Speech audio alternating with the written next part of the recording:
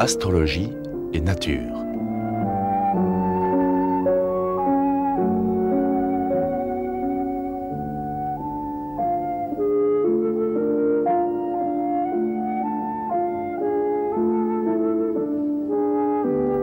Les douze signes du zodiaque.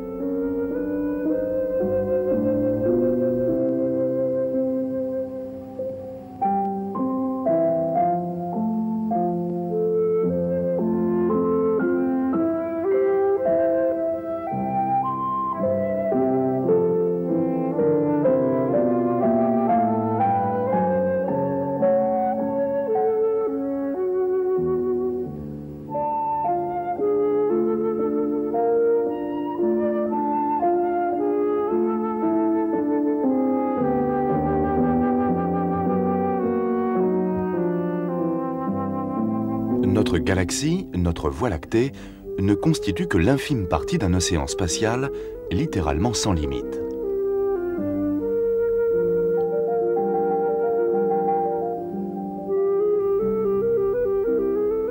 Nous observons cet infini de notre petite planète privilégiée dès lors que la nature y a permis l'apparition de mille et une formes de vie.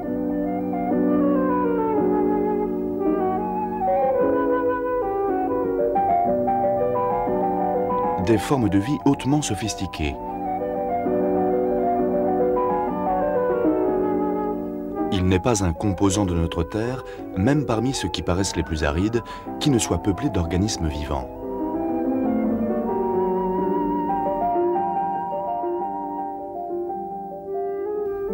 Nous le devons essentiellement au Soleil, qui procure chaleur et lumière à notre planète. La surface de la Terre s'est depuis longtemps refroidie, même si un feu intense continue de brasser en son centre une lave incandescente. Les éléments, au fil des millénaires, se sont nettement dissociés. Les terres ont surnagé, dominant les océans, la matière à l'état liquide. Le tout baigne dans une atmosphère gazeuse. Une planète, quatre éléments. Sur Terre, leur contact peut provoquer des réactions.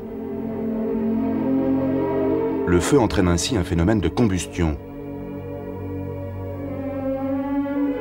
Chaque étape de la vie s'alimente de réactions chimiques, créatrices d'énergie. Ces différentes composantes de la vie terrestre se reflètent dans les douze signes du zodiaque astrologique, clairement imagés. Ainsi, le Capricorne est signe de terre. Le Bélier est signe de feu. Le Cancer est signe d'eau. Les Gémeaux sont signes d'air. Chacun trouve sa traduction en termes de caractères humains. Le signe de terre correspond à un tempérament volontaire inébranlable.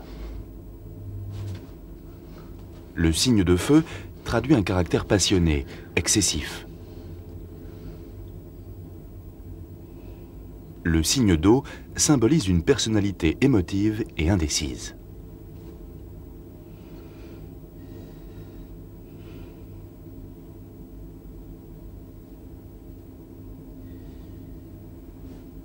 Le signe d'air, enfin, se rattache aux natures fantasques.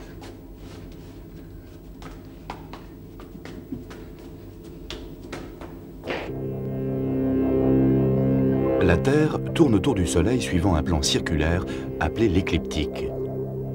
Autour de lui défile le zodiaque des signes. Il ne faut cependant pas le confondre avec le cercle des constellations, regroupement imagé de certaines étoiles, comme ici le Sagittaire et le Scorpion. Il porte effectivement le même nom que certains signes du zodiaque. Les poissons, le lion, le cancer ou la balance. Ces désignations sont symboliques. À l'opposé des constellations, les signes du zodiaque sont tous de même taille. Ils divisent le ciel en 12 segments de 30 degrés chacun. C'est le point d'intersection de l'écliptique avec l'équateur céleste, ce qu'on appelle le point vernal, qui sert d'origine aux calculs astrologiques. Il marque l'entrée du Soleil dans le signe du bélier, lors de l'équinoxe de printemps. Mais l'axe de rotation de la Terre n'étant pas fixe, l'équinoxe recule d'un signe zodiacal tous les 2160 ans par rapport aux constellations. À présent, le bélier se trouve au degré zéro entre poisson et verseau. Les quatre débuts de saison marquent des passages de l'orbite terrestre autour du Soleil. Quand le Soleil se trouve à la verticale du tropique, donc au début de notre été, il se trouve au début du signe zodiacal du cancer. Le Capricorne, c'est le début de l'hiver dans l'hémisphère nord. Quand le Soleil se trouve à la verticale de l'équateur, c'est le début du printemps ou de l'automne. Le Soleil entre dans le bélier ou la balance. Au commencement de ces quatre signes correspondent les quatre points cardinaux, Selon qu'il débute, poursuit ou achève une saison, le signe présente une dynamique particulière. Chaque élément sur Terre répond à des caractéristiques précises que l'on peut mettre en parallèle avec les caractères humains. Le signe qui commence une saison est appelé cardinal. Il implique un désir de marche en avant. Dans la nature, l'eau courante est associée au principe cardinal. En termes astrologiques, les signes qui développent la saison sont qualifiés de fixes il marque une volonté d'équilibre.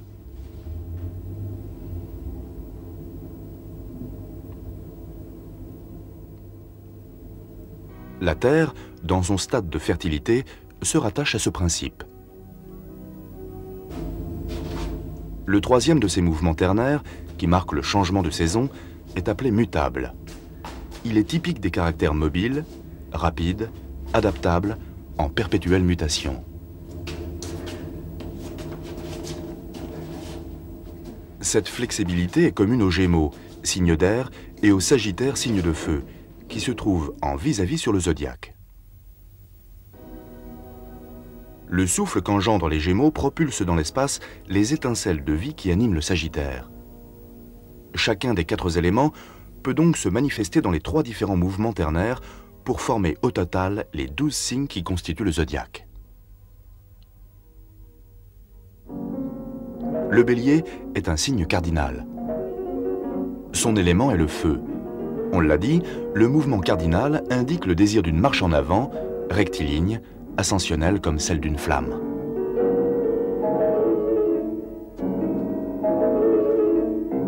C'est le feu qui pétille, éclate et se propage.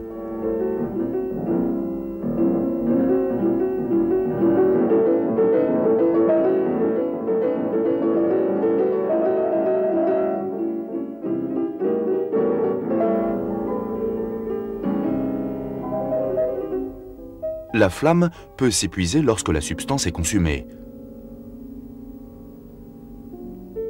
Mais la chaleur continue à pousser l'air vers le haut.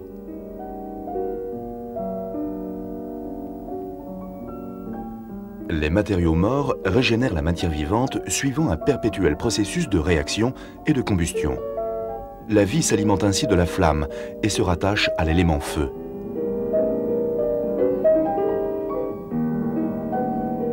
Au début du printemps, les pousses jaillissent, les bourgeons éclatent, la nature entame un nouveau cycle de vie.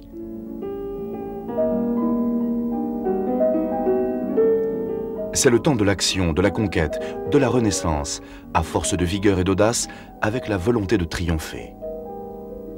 Le bélier déborde d'élan vital. C'est un précurseur, un créateur.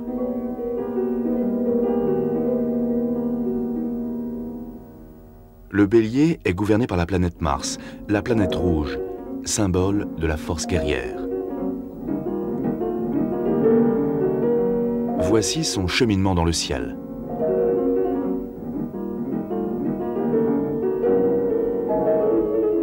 Dans l'Antiquité, Mars ou Arès était le dieu de la guerre, évocateur du courage militaire, de l'audace et au-delà de la victoire et de la paix.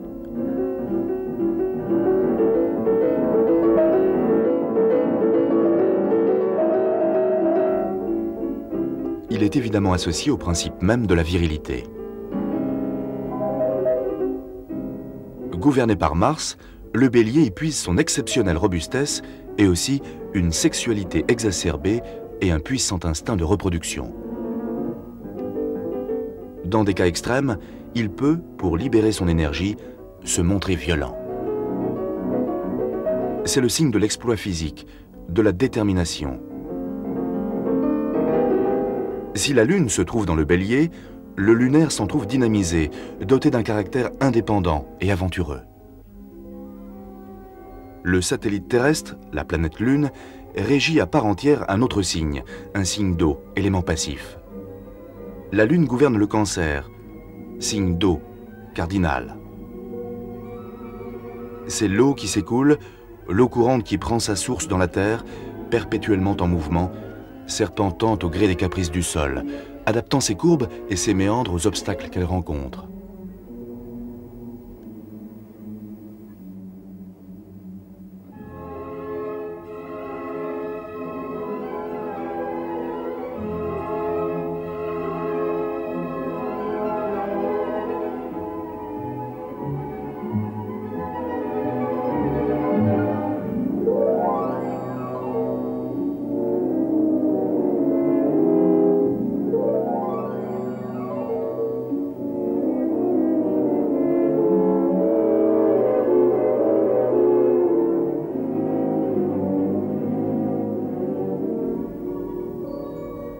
Rivière réfléchit la lumière. À son image, le cancer module ses émotions en fonction des êtres qu'il côtoie et des lieux où il se fixe. Il creuse son sillon sans notion du temps. Il est sensible, réservé, pudique, parfois indolent.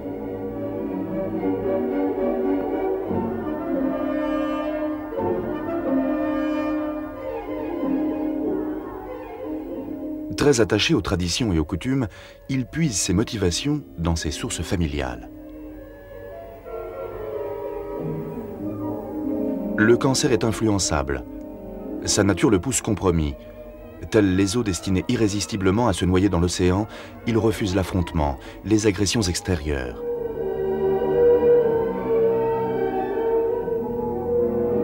Si Mars est dans le cancer, la pulsion motrice est moins forte. Dans la nature, les plantes aquatiques s'adaptent à leur environnement. Si le courant se fait trop fort, elles cèdent, se replient dans les profondeurs de la rivière.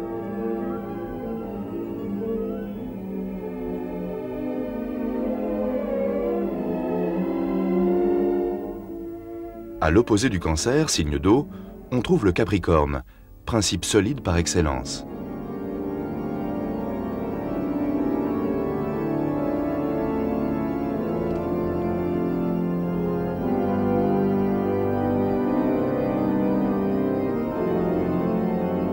Le Capricorne est le signe cardinal de la Terre dans ce qu'elle a de plus riche en devenir. C'est la Terre d'hiver, celle qui recèle la semence, mais aussi la Terre dans son apparence la plus rude, la plus froide. Le Capricorne est gouverné par Saturne, maître du temps, que poursuit une connotation négative, une aura maléfique et même macabre. Dans les attributs symboliques liés au corps humain, le Capricorne a hérité du squelette, référence apparemment sinistre, mais représentative avant tout de fermeté, de force et d'endurance.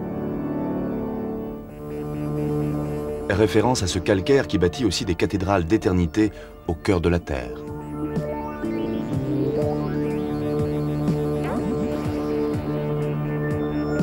Compression de la matière en structures solides qui croissent insensiblement.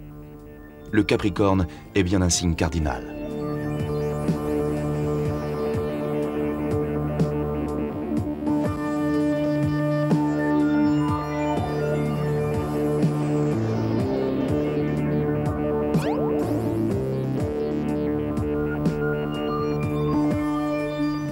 Dissimulés à l'intérieur des druses, en pleine obscurité, des cristaux colorés et transparents se forment imperceptiblement, mais de manière constante.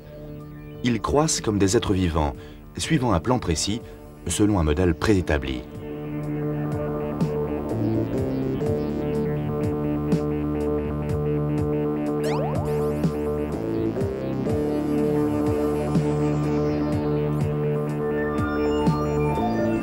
Le corail, élément marin, semble se nourrir aussi de son environnement liquide. Pareil aux sociétés humaines, il se bâtit sur ses propres ruines pour créer, au cœur de l'océan, une terre nouvelle.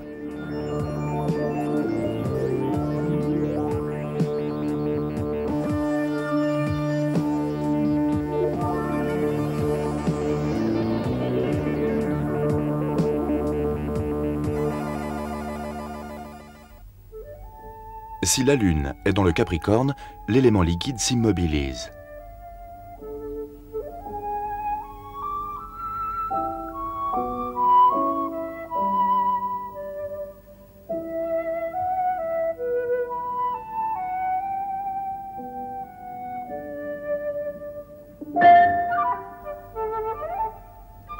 La sève des corps vivants se solidifie.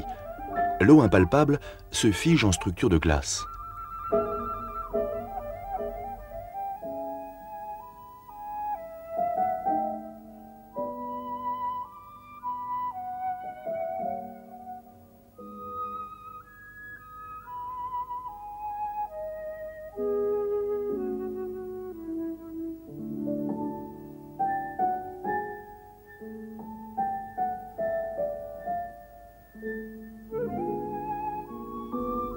Saturne retient les forces en action et Mars a toutes les peines du monde à s'y opposer.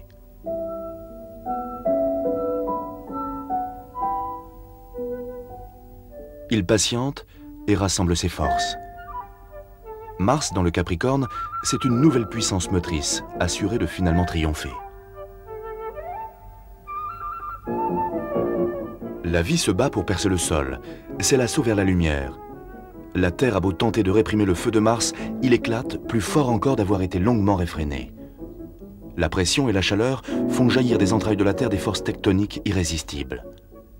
Mars s'élève vers le ciel en projection de laves incandescentes.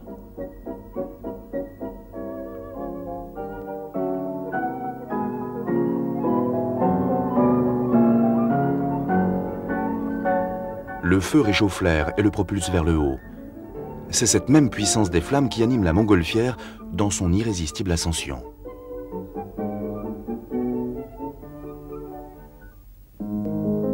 La balance, signe d'air, est aussi le dernier signe cardinal. C'est l'air agité, l'air en mouvement et en action. Les vents saisissent le ballon, le délivrent de l'attraction terrestre. Le vent souffle, compense les différences de pression. Harmonie et équilibre sont aussi les caractéristiques de la balance.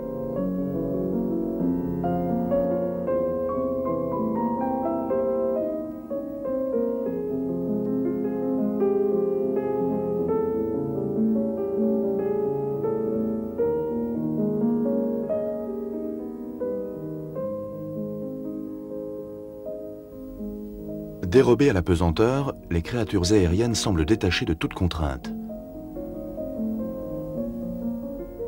Sensibles à la moindre vibration, elles vont à la rencontre des contraires, êtres de liaison, en perpétuel état de va-et-vient.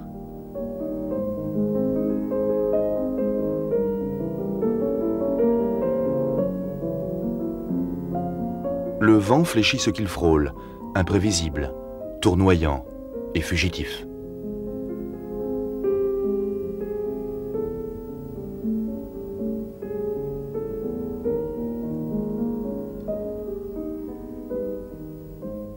C'est Vénus, symbole d'harmonie et de beauté, qui gouverne ce signe. À son image, la balance professe le culte de l'équilibre et un grand sens de l'esthétique.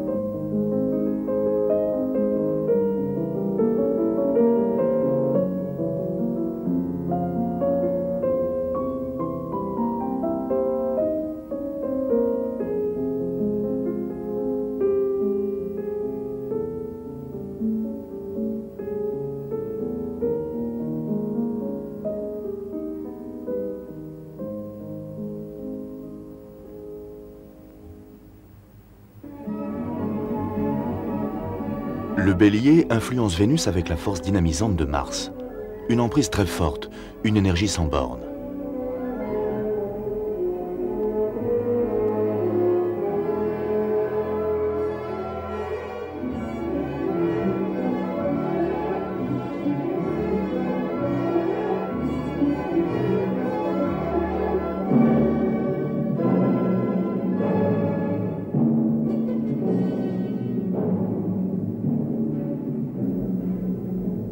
Puissance pareille à celle dont témoigne Mars lorsque, dans la nature, il stimule les vents pour les faire souffler en tempête.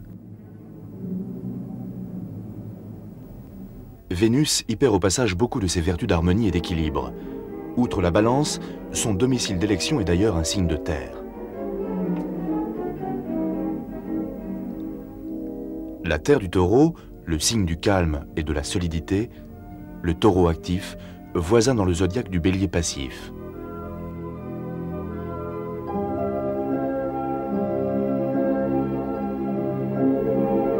L'animal symbolique représente en fait toute la famille, aussi bien le bœuf et la vache que le taureau. C'est par ailleurs un signe fixe qui marque un grand désir de stabilité. C'est le symbole de la terre nourricière, la terre grasse et féconde du printemps, pleine de chaleur et de vie. Enracinement des plantes et épanouissement de la nature en surface, une floraison qui fait flotter dans l'air des parfums puissants, une atmosphère sensuelle bien propre à ce taureau Vénus.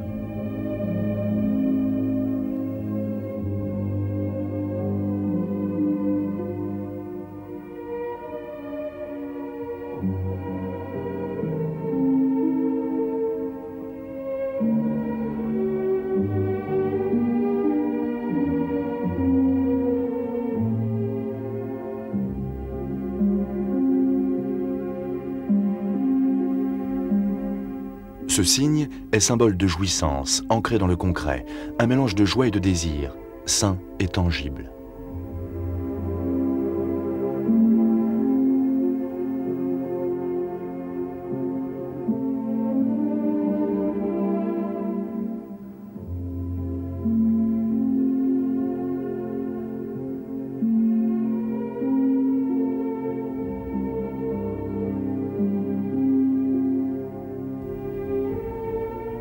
Le Soleil a animé les mouvements de la Terre.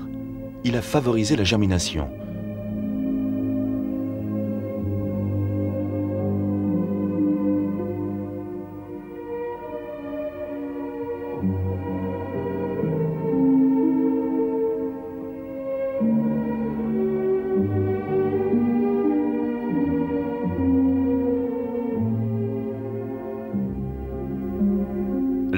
Taureau sensuel s'allie au principe liquide, les déesses Lune et Vénus peuvent déployer toutes leurs influences féminines.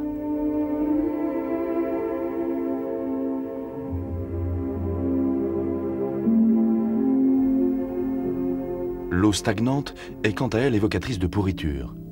À l'opposé du signe du taureau, celui du scorpion est le signe d'eau fixe sous la surface calme des eaux tranquilles, est le règne de la décomposition, de la pourriture. Les étangs et les marécages sont scorpions, domaine des profondeurs ténébreuses, des mutations invisibles, des processus les plus secrets de la nature.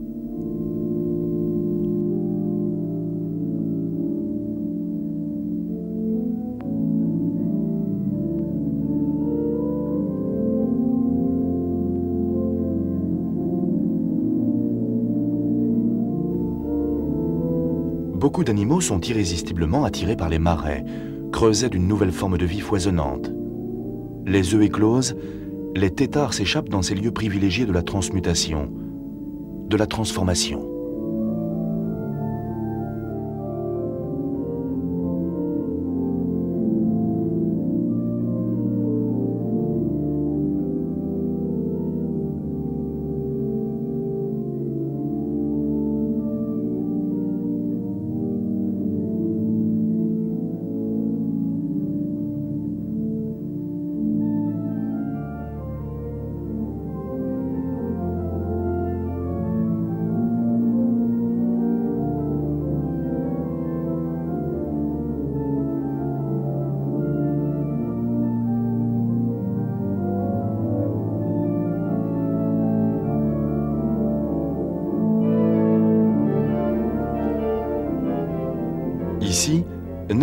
Part de la chaîne alimentaire animale.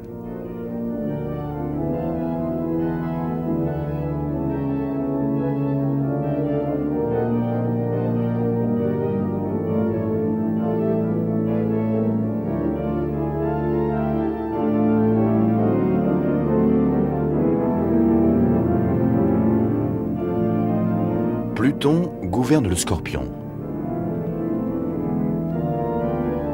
Qui règne au royaume des morts. Mais Pluton, symbole aussi de métamorphose et de rédemption. Mars, autre maître du signe, peut déployer ici son énergie dévorante. Il y trouve un aliment de choix pour nourrir ses pulsions.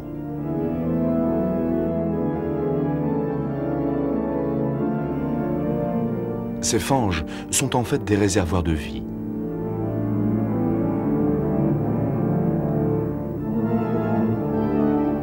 Les larves surgies de l'eau se transforment en libellules.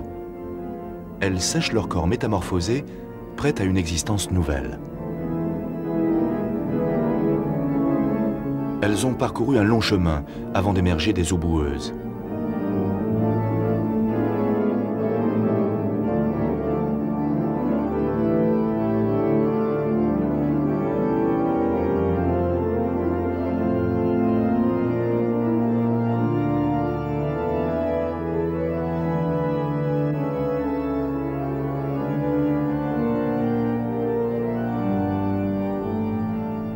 Là où la vie se manifeste, Vénus s'efforce de déployer toutes ses vertus. Le ver active la transformation des substances en décomposition. L'esprit scorpion féconde la terre du taureau.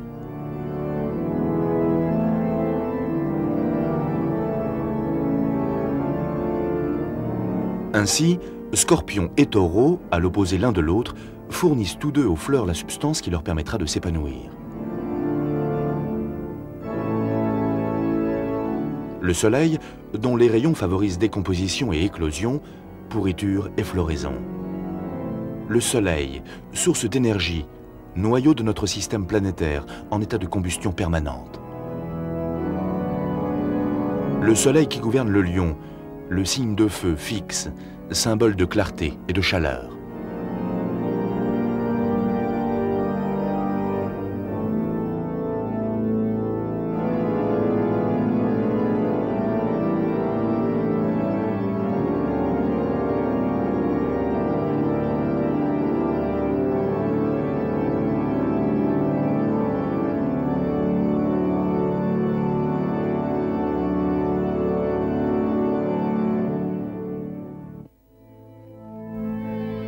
Ce principe essentiel de la vie s'observe dans un simple feu de braise, sans que l'on puisse cependant y décerner l'extrême complexité du processus qui l'anime.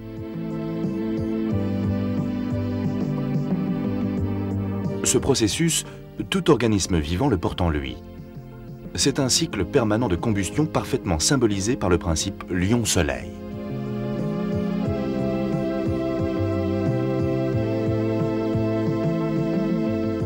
Chaque plante, chaque animal, chaque individu vit ainsi en analogie avec le soleil.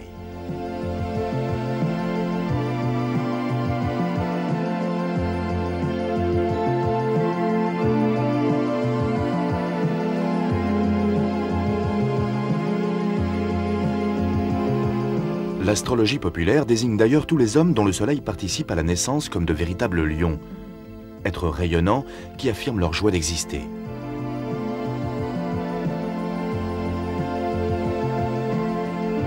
La puissance du Soleil ne nous atteint que forcément atténuée. En fait, à l'origine, elle est excessive, redoutable et destructrice. Aux antipodes de ce lion ravageur, on trouve le Verseau, le signe d'air fixe. Pour autant que l'air puisse être qualifié de fixe, si ce n'est loin au-dessus des couches de nuages qui nous dominent, dans l'ionosphère, bien loin de notre espace habité, à 100 ou 500 km d'altitude, là où les particules échappent à la pesanteur de la Terre.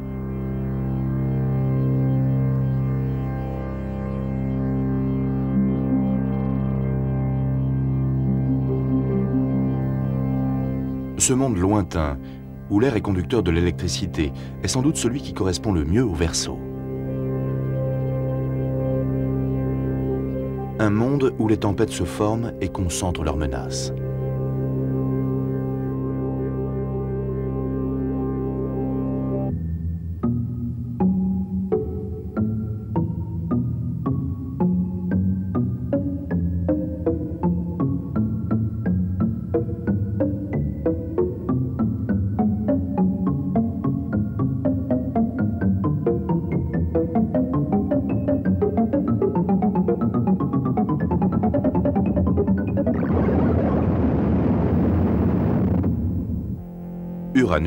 Régit le Verseau, avide d'absolu.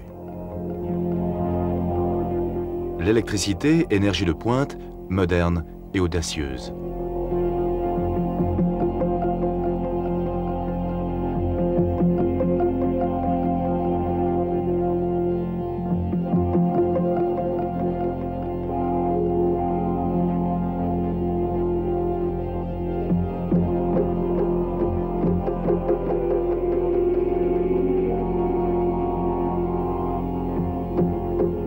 S'établit une théorie, là où se développe une idée neuve, règne Uranus.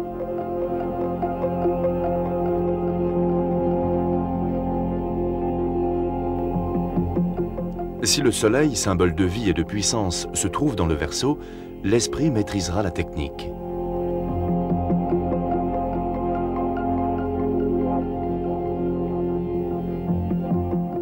Uranus passe pour favoriser en un éclair, dans notre esprit, la création et l'application de nouveaux instruments de progrès. L'axe Lion-Verseau privilégie les nouvelles conquêtes de l'esprit scientifique. Saturne régnait seul sur le Verseau avant la découverte relativement récente d'Uranus. L'un et l'autre se complètent. Sans Uranus, pas de révélation nouvelle sur notre environnement. Mais c'est Saturne qui gère le chaos, qui permet de concrétiser les idées abstraites soufflées par Uranus. Uranus n'en est pas moins le véritable seigneur du Verseau, champion de la persévérance dans la quête du savoir et de ses applications. Les signes d'air tendent particulièrement à réaliser le plan spirituel de l'homme. C'est vrai pour la balance, le Verseau et les Gémeaux. Les Gémeaux, signe d'air mutable, donc préoccupés de mutation. L'air ici est en perpétuel mouvement. C'est lui qui fait bruisser les feuilles et claquer les portes.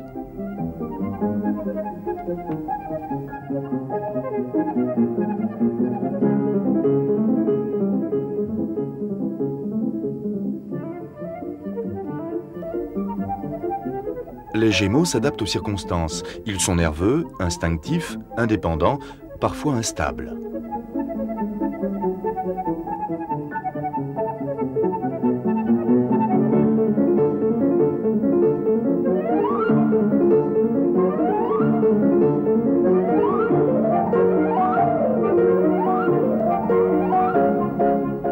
Gémeaux varient comme le vent, entre simple brise et tourbillon que se manifeste l'influence de la Lune et leur fantaisie naturelle devient trépidante.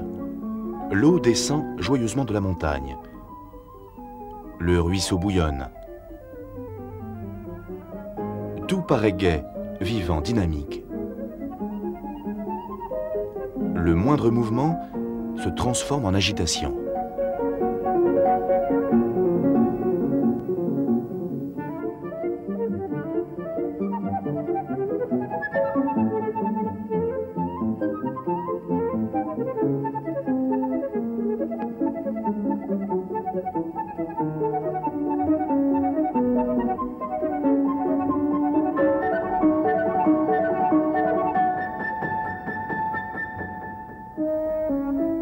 L'air mutable, élément des Gémeaux, est un air de mobilité et de diffusion.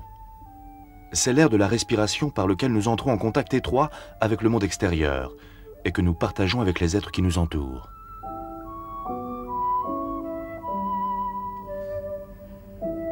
Chaque créature inspire et expire.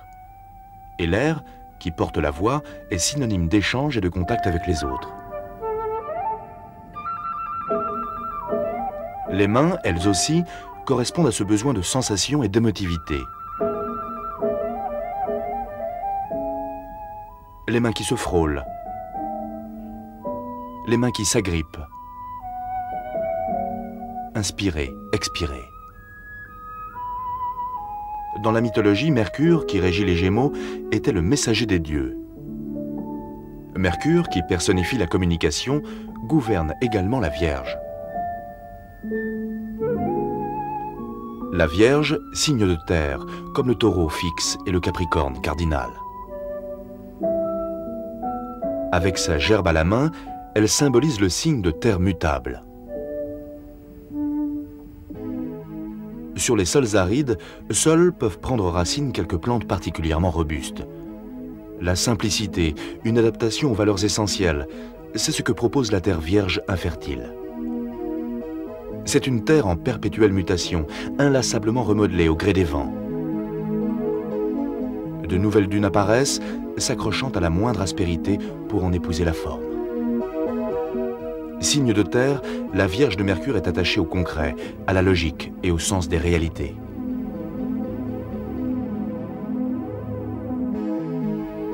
De même, l'eau et le vent rongent la pierre, la décomposent, la morcellent pour la remodeler ensuite.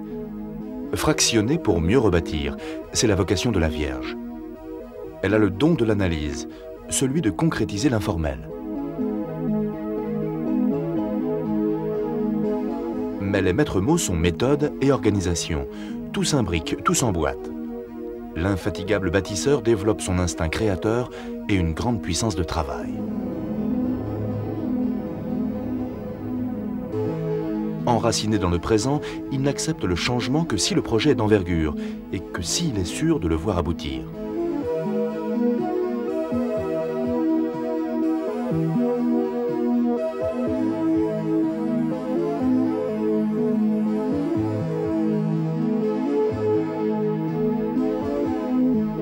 Là où l'homme se fixe, il cultive la terre qui lui fournira l'essentiel de sa nourriture.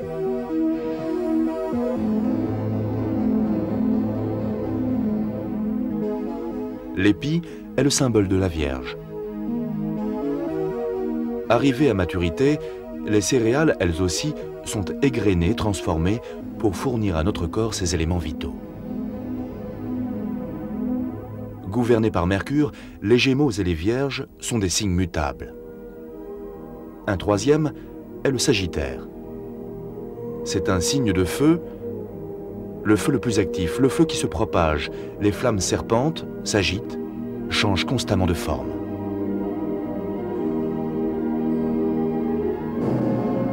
Le feu s'amplifie, se déploie, dévore son environnement.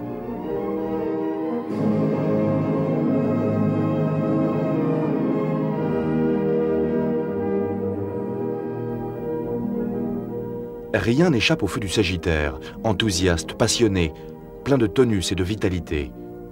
C'est le feu de la passion, l'amour de la chasse, ou un goût parfois immodéré de l'aventure.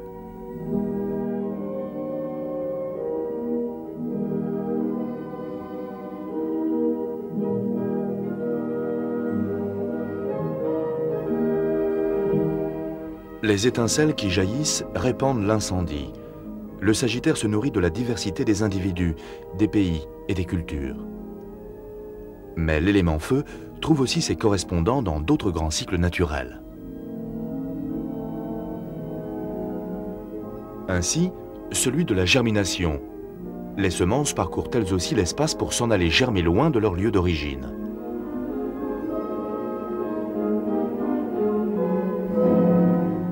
Une autre forme de souffle divin qui fertilise la terre.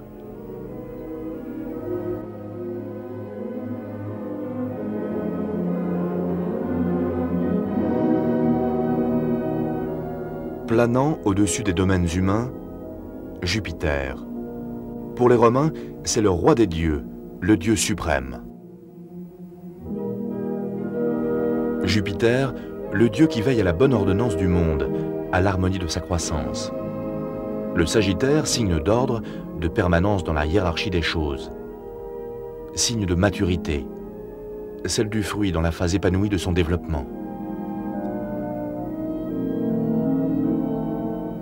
D'une graine ou d'un pépin qui croît, fleurit et enfin mûrit pour être cueilli ou se régénérer dans une nouvelle germination.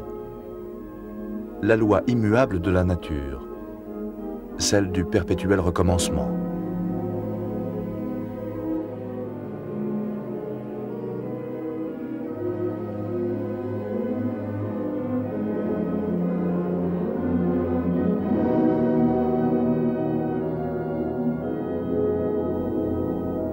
Les eaux du ciel arrosent et transfigurent l'empire terrestre de Jupiter. Jupiter qui régit aussi le quatrième des signes mutables, celui de l'eau. Non plus l'eau courante des rivières, ni celle qui stagne, mais celle des océans, et celle aussi de la pluie et de la rosée.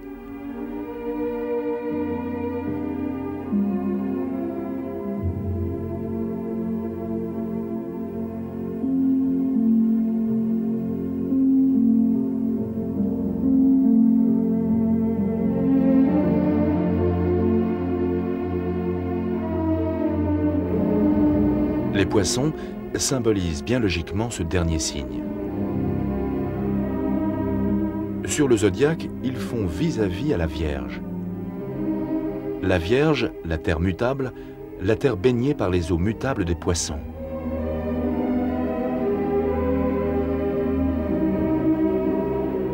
Outre Jupiter, Neptune, dieu de la mer, gouverne les poissons avec son trident.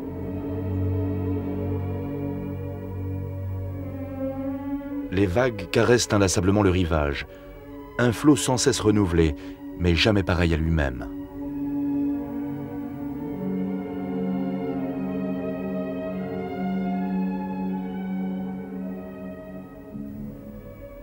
La mer rejoint le ciel lorsque ses eaux s'évaporent, s'élèvent en gouttelettes minuscules pour aller former par-dessus la terre un autre océan, un océan de nuages.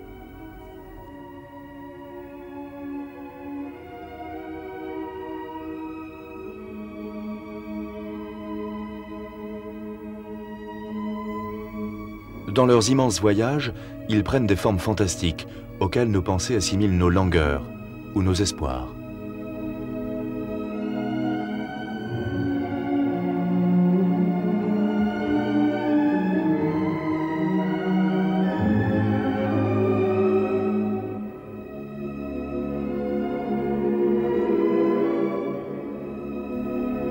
La balance, Vénus aérienne, apparente aux nuages neptuniens ses rêves romantiques. Nos visions inspirent nos sentiments, peignent notre caractère.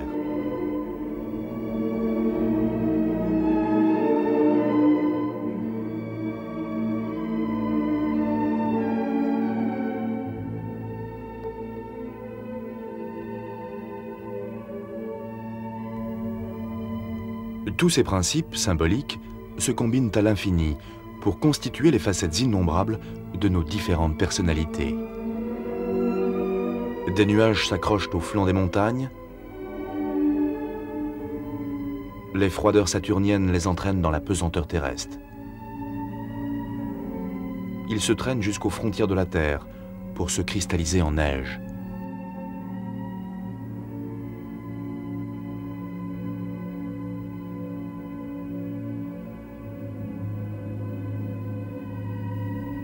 Les hommes se sentent obscurément tributaires de lois qui régissent l'ensemble de l'univers, mais qui restent pour eux aussi complexes qu'un caractère neptunien. L'homme manque encore de cette connaissance intuitive, de cette préscience du changement que possède Uranus.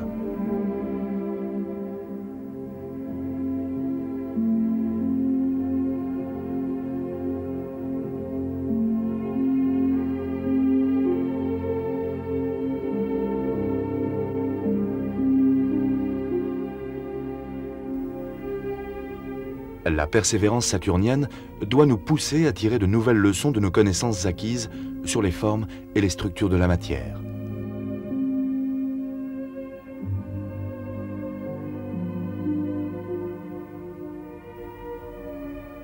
Il nous faut chercher sur tous les chemins que nous ouvre la connaissance.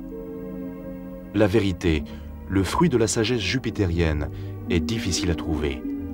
Sa quête doit être inlassable et rien ne doit la décourager.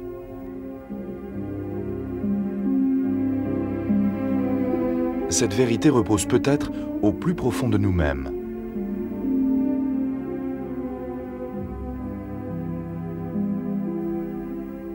Des poissons aux scorpions, nous avons fait le tour des douze signes du zodiaque.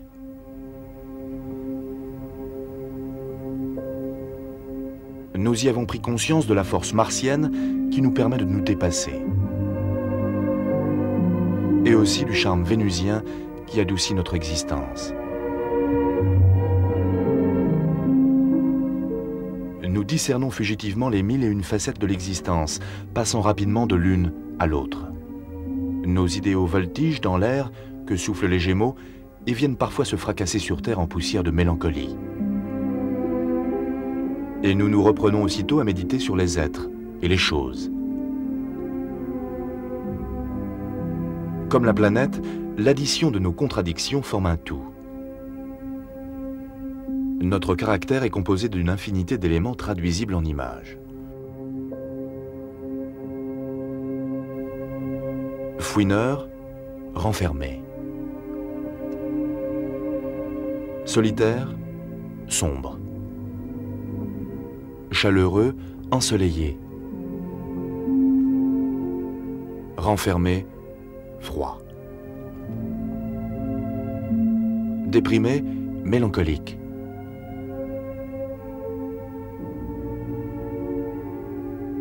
Ouvert au monde.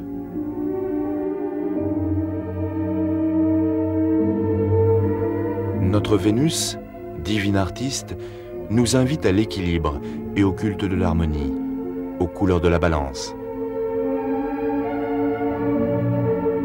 C'est d'elle que nous viendra peut-être l'intuition d'une certaine perfection. Qu'est-ce que la beauté à l'état pur? Et d'où nous vient ce besoin irrésistible de le découvrir un jour?